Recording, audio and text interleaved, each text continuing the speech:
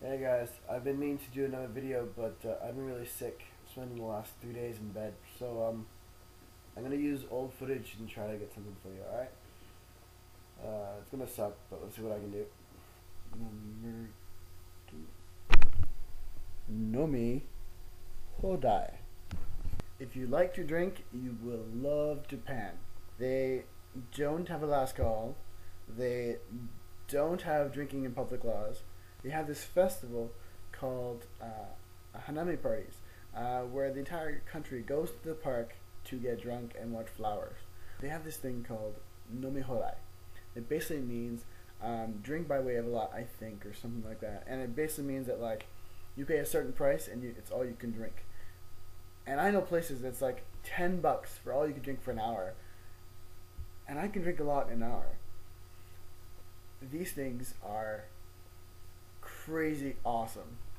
What are you talking about? I'm not an alcoholic.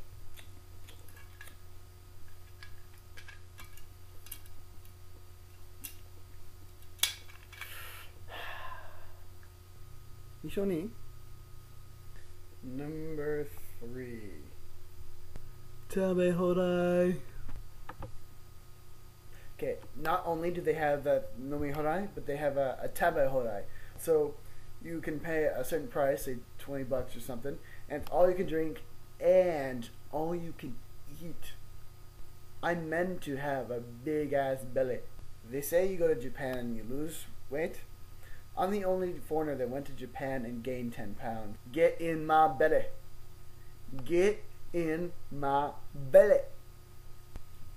Number four. What do, do you think uh, about the private uh, erection?